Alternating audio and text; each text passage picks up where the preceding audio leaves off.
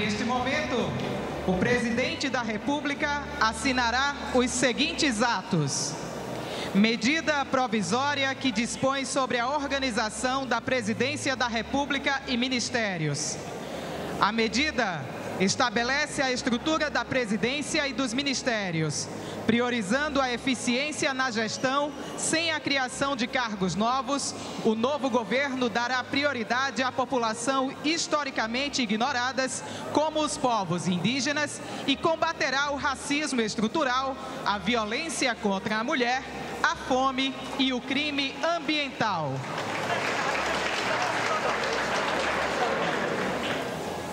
Medida provisória dos 600 reais para as famílias pobres do Brasil. O presidente da República assina a medida provisória que garante o pagamento de 600 reais para todas as famílias beneficiárias do programa de transferência de renda vigente como primeira medida de enfrentamento à fome e à miséria. Medida provisória da desoneração de combustíveis. A medida prorroga as desonerações de combustíveis no Brasil.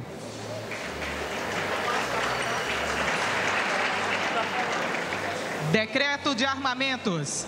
Em nome da segurança da população brasileira, o presidente da República assina decreto que inicia o processo de reestruturação da política de controle de armas no país. O acesso a armas e munições será reduzido e serão suspensos até edição de nova regulamentação e os registros de novas armas de uso restrito, novos CAUs, CACs e novas autorizações de clubes de tiro.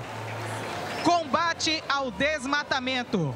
O presidente da República assina decreto que restabelece, restabelece, o combate ao desmatamento na Amazônia, no Cerrado e em todos os biomas brasileiros, devolvendo ao IBAMA seu protagonismo. Fundo Amazônia.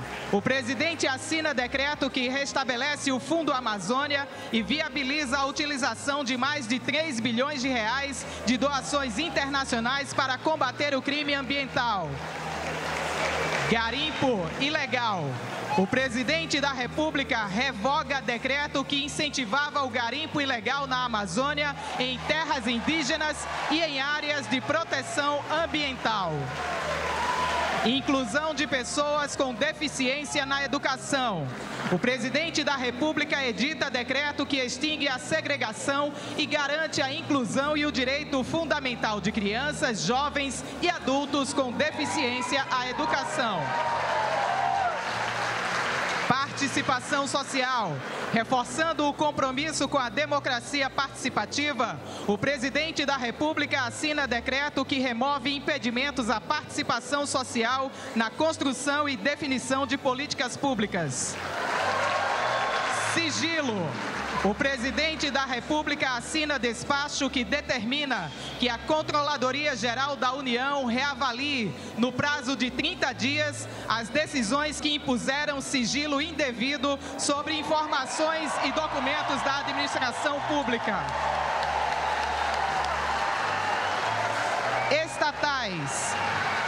O presidente da República assina despacho que determina aos ministros de Estado que encaminhem propostas para retirar do processo de desestatização empresas públicas como Petrobras, Correios e EBC.